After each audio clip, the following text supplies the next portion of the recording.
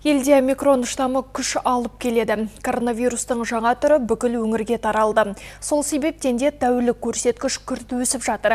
Бұл туралы үкімет отырысында денсаулық сақтау министрі Жарық Ният мәлімдеді. Соңғайда коронавирус 20 есе өсіп, Түркістаннан басқа өңірлердің бәрі қызыл аймаққа өтті. Әсіресе екі мегаполис Нұрсұлтан мен Алматы және Қарағанды облысында сырқаттану деңгейі күрт өсті. Коронавирусқа шалдыққандардың 60 пайыздан астамы осы үш аймақта. Бірақ жаңа штамм көп жағдайда жеңіл және симптомсыз өтеді. Ауырғандардың дені яғни 80 пайызы амбулаторлы ем қабылдап жатыр. Науқастарды үйде емдеген үшін дәрігерлерге үш жалақы көлемінде қосымша үстемақы төленеді. Бірақ дерт дегенмен елде ревакцинациялау баяу.